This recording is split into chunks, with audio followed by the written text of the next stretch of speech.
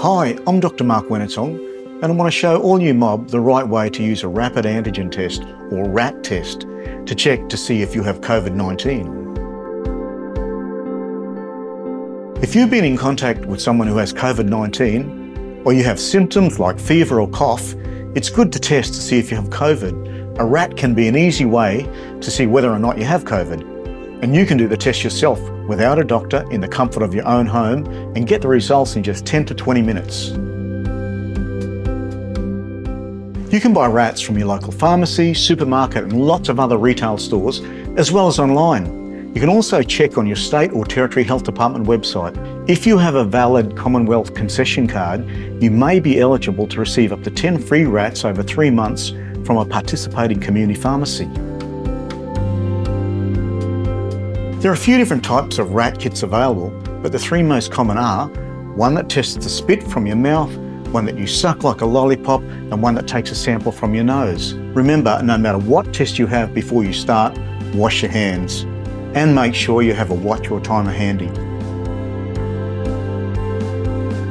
If you're using a RAT that you suck like a lollipop, you'll find a strip that will show if you have COVID-19 or not, a lollipop saliva swab, a bag to use to throw your used test away. First take the lollipop out of the packet. Place the sponge end into your mouth, but don't bite it. Move the swab back and forth in the front and sides of your mouth for 90 seconds. Take the lollipop swab out of your mouth after 90 seconds once the sponge is soft and the circle on the back turns blue. Get the strip that will show you if you have COVID-19. It has a spot in the bottom where you put your test. Insert the swab at the end of the lollipop into the strip and push down until it clicks into place. Set your timer for 10 minutes. Then you wait. No matter what type of test you use, once your timer is up, check the strip to see what it says. Make sure you do it straight away as it can be inaccurate if you leave it too long. One RAT even has a torch to help you read the strip. If you see a line next to the C, you don't have COVID-19. If you see a line next to the C and the T, you are positive for COVID-19. If you only see one line next to the letter T or no lines at all, your test didn't work and you'll need to do another test.